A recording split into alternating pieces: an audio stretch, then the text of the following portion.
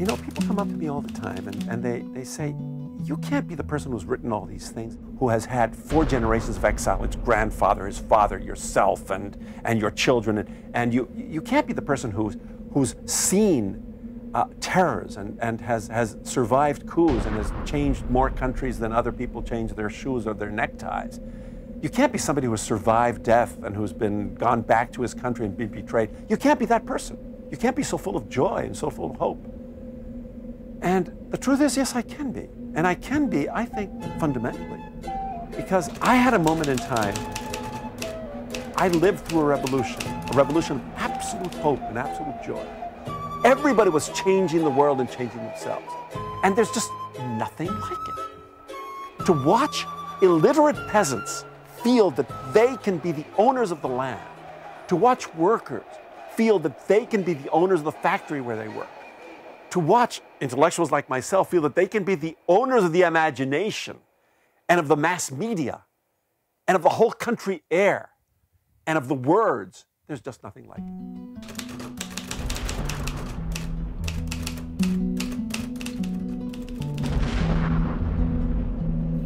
And then the dream was crushed. One day there was a million of us marching down the Alamedas of history, and the next day we were running for our lives. And many of those people were killed. They were exiled. They were disappeared. They were tortured. And I went into exile. And if the country was crushed and democracy was crushed, well, I was super crushed. I was just, it was, I felt as if I was just being torn apart. And for me, the, the main problem as a writer was that I became silent. I, I lost my voice. I didn't know what to say because the words that I had said the dream I had seemed to have been destroyed.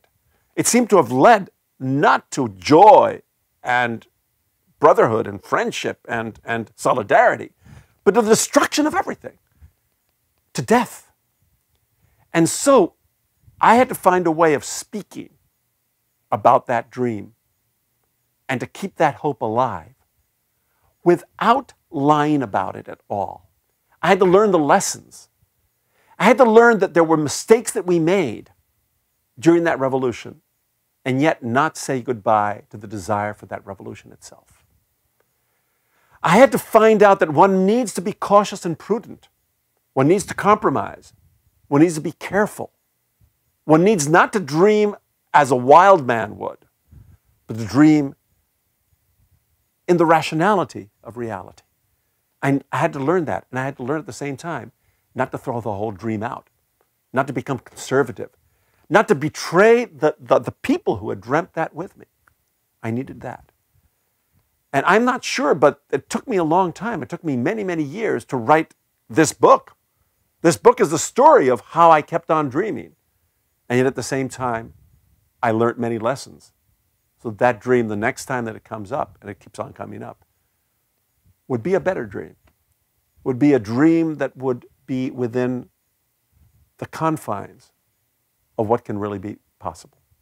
And yet, I continue to think that everything is possible. You just have to learn. Uh, you have to learn many things.